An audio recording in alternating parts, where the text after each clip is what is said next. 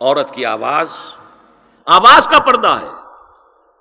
اب دیکھیے کس حد تک نماز میں اس وقت عورتیں بھی شریک ہوتی تھیں۔ اگرچہ حضور نے فرمایا، مردوں کی صف بہترین سب سے آگے والی ہے اور سب سے بری صف سب سے پیچھے ہے، کیونکہ اس کے پیچھے پھر عورتوں کی صف ہوتی تھی۔ اور عورتوں کے لیے سب سے اچھی صف سب سے پچھلی والی ہے اور سب سے بری سب سے آگے والی ہے۔ سب سے آگے والوں کے سامنے پھر مرد ہوتے تھے، ان کی پشت ہوتی تھی۔ تو اسی طریقے سے اگر غلطی کی ہے، تو مرد جو ہے کہے گا سبحان اللہ، امام سے غلطی ہو گئی ہے، مرد کیا کہے گا؟ سبحان اللہ۔ عورت کیا کرے گی؟ اپنے ایک ہاتھ کے پشت پر اپنا ہاتھ مارے گی۔ اپنی آواز نہیں نکالنی۔ آواز کا پردہ۔ چھونے کا پردہ یہاں تک ہے کہ حضور نے کبھی کسی عورت سے ہاتھ نہیں ملایا اور آپ جب بیٹھ بھی لیتے تھے تو بس زبانی الفاظ کہلوائے۔ اور کہا، ٹھیک ہے، بیٹھ ہو گئی۔ یا ایک کپڑا پکڑا، اس کا ایک سرا اپنے ہاتھ میں، دوسرا سرا اس خاتون کے ہاتھ میں۔ یا ایک تشت کے اندر پانی بھرا، اس میں ایک طرف اس نے انگلیاں ڈال لی اور ایک طرف حضور کی انگلی لیکن مسافر لا اسافر النساء، ایک دفعہ ہوا بھی کہ بعض خواتین نے جب بیعت کی ہے تو پھر انہوں نے ہاتھ آگے بڑھایا۔ مسافر کے لیے حضور نے فرمایا، انی لا اسافر النساء، میں عورتوں سے مسافر نہیں کرتا۔ اسلام میں پردے کتنے ہوئے؟ پہلا پردہ چار دیواری گھروں میں رہو، یہ پہلا پردہ ہے۔ جیسے ڈیفنس لائنز ہوتی ہے نا فوج کی، یہ فرسٹ ڈیفنس لائن سیکنڈ ہے تھرڈ ہے۔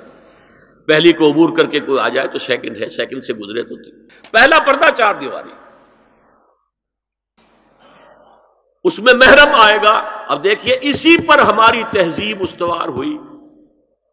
اسی پر ہمارا آرکیٹیکچر بنا۔ گھر ایسے بنے کہ مردانہ علیحدہ، زنانہ علیحدہ۔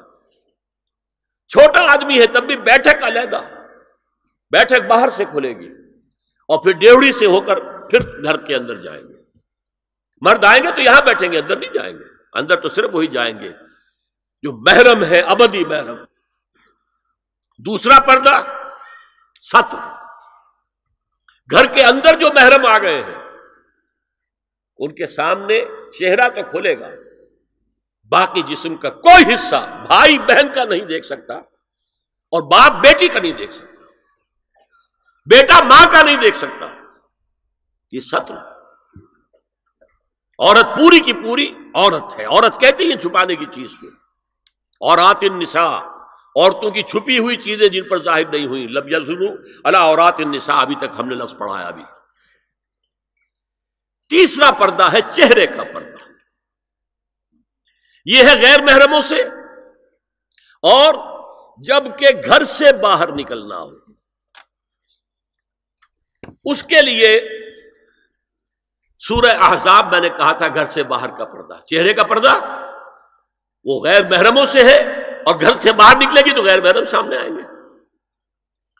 یا نبی کل ازواج کا وہ بناتے کا وہ نسائل مومنین یدنین علیہن من جلابی بے ذالک ادنا یورفنا فلا یوزین وکان اللہ غفور الرحیم اے نبی صلی اللہ علیہ وسلم، کہہ دیجیے، اپنی بیٹیوں سے اور اپنی بیویوں سے اور مسلمانوں کی خواتین سے۔ اب دیکھیے، یہ سورہ احزاب ہی میں ہو رہا ہے۔ شروع میں یا نسان نبی سے بات چلی۔ استیزان بھی صرف نبی کے گھر میں داخل نہ ہو، اس کے بغیر۔ آگے چل کر سورہ عذاب ہی میں عام بھی کر دیا۔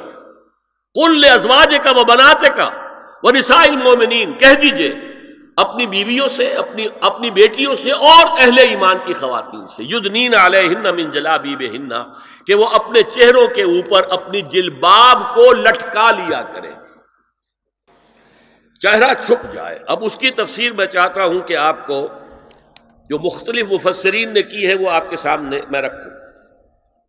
حضرت عبداللہ ابن عباس نے اس آیت کی جو وضاحت فرمائی ہے، اسے حافظ ابن کثیر نے اپنی تفسیر میں اس طرح نقل کیا ہے۔ اللہ نے مسلمان عورتوں کو حکم دیا ہے کہ جب وہ کسی کام کے لیے گھروں سے نکلیں تو اپنی چادروں کے پلو اوپر سے ڈال کر اپنا منہ چھپا لیں اور صرف ایک آنکھ کھولی رکھیں۔ دونوں آنکھیں بھی غلط ہیں۔ ہمارے ہاں برقع کیوں بنا تھا؟ دیکھیے، چادر میں عورت لپٹی ہوگی، اس کا ہاتھ جو ہے اس چادر کو سنبھالنے میں آکوپائی ہو جائے گا۔ برقع ضرورت کی ایجاد ہے جو ہوا ہے۔ اور اس کے آگے آپ کو معلوم ہے، پچھلے برقوں میں جالیاں لگی ہوتی تھی کہ نگاہوں سے بھی براہ راست سامنا نہ ہو۔ اور یہ میں نے اپنی آنکھوں سے دیکھا۔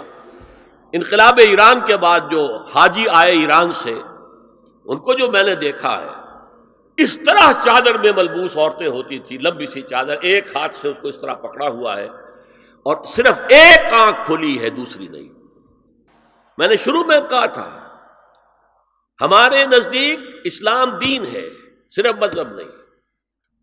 اسلام، قرآن اور سنت دونوں پر مبنی ہے، صرف قرآن پر نہیں۔ اسی میں ایک اضافہ کیجیے اس بات کا کہ حضور نے کئی حضرات سے یہ کہا، کہیں وہ رشتہ کر رہے تھے۔ کہ آپ نے ایک نظر دیکھ لیا ہے۔ اب اگر یہ ایک نظر دیکھنا اس کی اتنی اہمیت ہے تو اس کا کیا مطلب ہے؟ اگر تو صورت حال یہ ہوتی کہ ہر وقت چہرہ کھلا ہے، آ رہے، جا رہے، تو ایک نظر دیکھنے کی کیا ضرورت ہے؟ وہ تو دیکھا دکھایا ہے۔ زمانہ آیا ہے بے حجابی کا عام دیدار یار ہوگا۔ سکوت تھا پردہ دار جس کا وہ راز اب آشکار ہوگا۔ تو ظاہر بات ہے وہاں پردہ ہو گیا تھا، تبھی تو تھا نا کہ ایک نظر دیکھ لو۔ آپ نے پوچھا ایک صاحب سے کہ رشتہ کہاں کیا، وہاں کیا ہے؟ تم نے ایک نظر دیکھ لیا ہے۔ اس خاندان کی آنکھوں میں کچھ نقص ہوتا ہے، دیکھ لو۔ بس ایک نظر دیکھنا ہے اس کی اجازت۔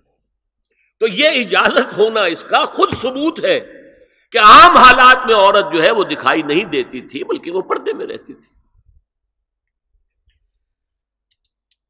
مسلمان جدید تعلیم یافتہ دانشوروں کی منافقت۔ وہ کہتے ہیں یہ پردہ وردہ سب مولویوں کی ایجاد ہے۔ کبھی کہہ دیتے ہیں یہ تو ہندوستان میں راجپوتوں کا پردہ ہوتا تھا تو مسلمانوں نے یہاں یہ پردہ ایجاد کر لیا۔ میں نے دیکھا ہے عرب کی بدو خواتین کو۔ مکے سے مدینے جاتے ہوئے نظر آتی ہیں۔ ایک خاتون اونٹ کی پوری قطار لے کر جا رہی ہے، ہاتھ میں لاٹھی ہے۔ پورا مکمل پردہ چہرہ چھپا ہوا، آنکھوں کے اوپر بھی کوئی انہوں نے وہ حجاب سا بنایا ہوتا ہے، خاص چھجا سا۔ اور ہاتھوں میں دستانے، پاؤں میں جرابے۔